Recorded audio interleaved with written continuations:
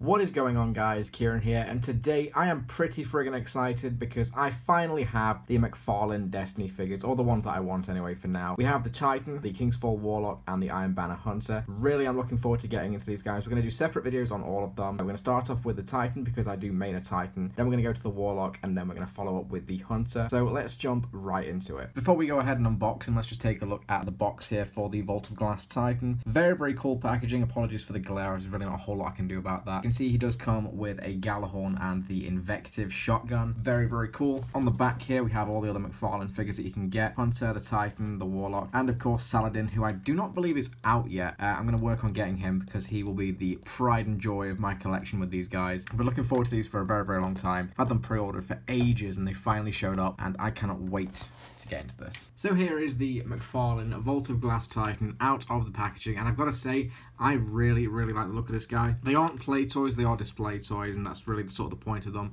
These guys are going to look amazing on display and uh, I can't wait to get the rest of them because I've got the obviously the Hunter and the and the uh, the Warlock but also Saladin and then some of the other ones with the different shaders. You can get the Titan with the Blacksmith shader, it's going to be sexy. But anyway, here is the Titan. This guy is basically my Titan from year one. I mained a Titan for quite a while, had all the raid gear, and this is what my Titan looked like.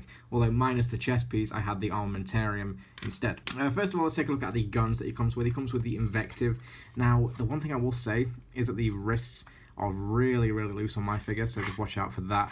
But the guns he comes with are obviously the Invective and the one and only Gjallarhorn. Let's take a look at Gjallarhorn first because it is just friggin' beautiful. Look at it. Really nice gold paint apps on there. Very, very nice looking. Yeah, this thing is just absolutely gorgeous. Really, really nicely painted, nicely detailed. This piece does actually come out. Uh, so if you want to have it a bit more flush, but there we go. Make sure you don't get that stuck in the uh, in his back because that did actually happen to me and I had to get some pliers to get it out. But there is the Gjallarhorn. And as for the Invective, here is the Invective. I really don't know why the Invective came with the Titan, because the Invective was Ikora's gun, so it should have been really for the Warlock, but whatever.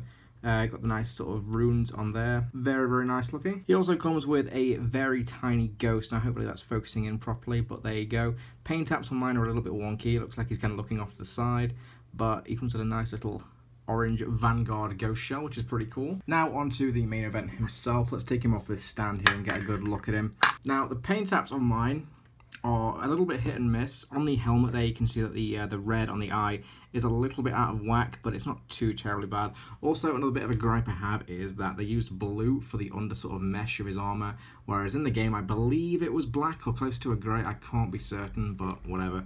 It's it's no big deal. Another little bit of a gripe I do have is the wrist joints are incredibly loose, and it means that he doesn't really hold his guns very well. I tried to make him hold the invective earlier, and uh, you really have to sort of try and wedge it in there and sort of put it against his arm just to make it sort of sit flush and not actually just sort of fall down.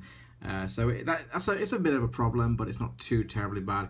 Overall, though, I think this guy looks absolutely gorgeous. I really love the bronze color scheme. Very faithful to the in-game raid armor. On the Titan mark, we do have some nice detailing. We also have the knife just up here. I do wish he came with the... Uh, there was a class item in the game from the, uh, the of Glass raid called the Light of the Great Prism, and it was sort of like a, a holographic sort of Titan mark. And I kind of wish that they this this figure had it because it was very very cool. But I guess it's obviously because it was see-through and it's holographic, it'd be kind of difficult to do on this figure.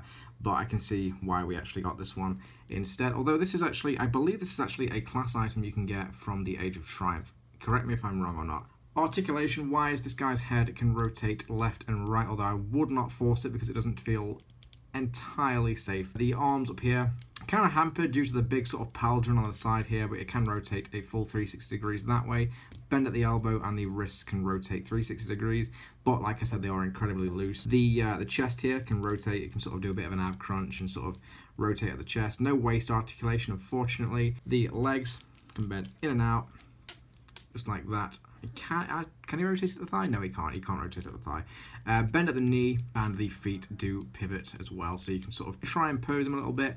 Although, to be honest, just having these guys stood up nicely is going to be enough for me. They don't really need to pull off some mega gymnastic sort of poses, but look at him. He's beautiful. Now, as for the weapons, they do have this little peg on the back here, so that can just sort of peg into there, and you can have the shotgun on his back, but also you can put the Gjallarhorn using the same peg onto his back just like that, so you can store those as you would in game. But that is it for the Vault of Glass Titan. I just thought I would show it off, show you all the details and i'm Not very good at doing reviews of things that don't really transform, because that's my usual bag, but whatever. I have played the hell out of Destiny. I basically lived and breathed the uh, the Destiny game for the last three years, and it is really really nice to finally have some toys of my classes and my characters because this is how my Titan used to look. And I'm really, really happy to actually have a figure of it. So there we go. Plus the raid armor is amazing, and it will always be the best Titan armor you could get from Destiny 1. There we go. There I said it. Anyway, cheers for watching, guys. Stay tuned for the Warlock review, which is coming up next, and I will see you in the next one. Take care.